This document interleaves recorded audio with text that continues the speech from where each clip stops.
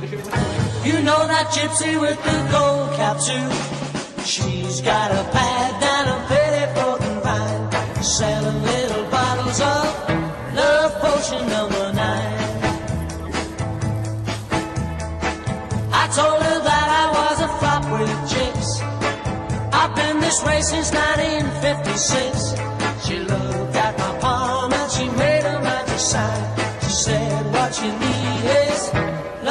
love potion number nine.